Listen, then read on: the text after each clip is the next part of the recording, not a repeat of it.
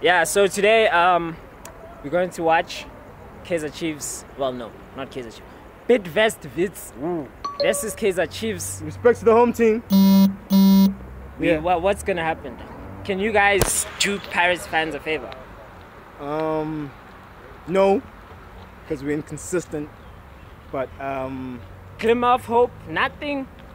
no, I don't see change anytime soon. Uh, I see progress for Wits. They are a very structured team. But yeah, um, all the best for KC. But uh, it's not our time as yet. We're not structured. We're not gelled. Um, yeah, we just need more work. We need Okay. more work. Yeah. Yeah, out of that guy's negative energy. The- the- the- I hope the game is closer than what he's predicting. Because if Wits can also shellac people 5 1.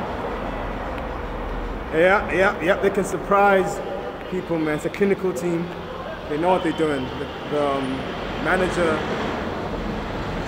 is, is known for being clinical. Yeah. Yeah. Alright, we'll see. Somebody drink.